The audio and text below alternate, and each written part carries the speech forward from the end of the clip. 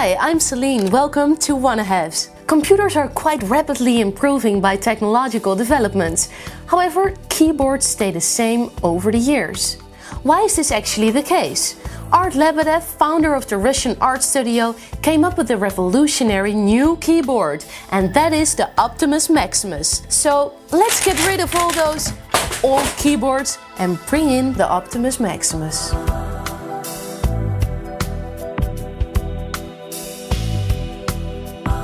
Compared to a regular keyboard, this Optimus Maximus keyboard has one big advantage. It has 113 full color displays, as you can see here.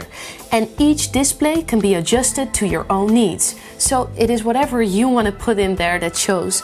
If you want to type a letter, you put letters in here, or numbers, or photos, even videos can be shown.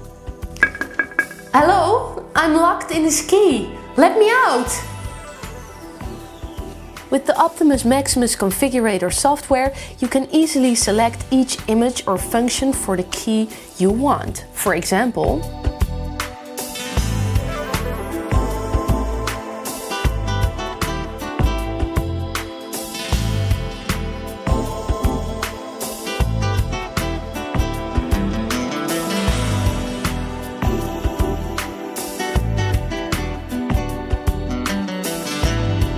The only downside of this technological masterpiece is its price, around 1200 euros or $1900.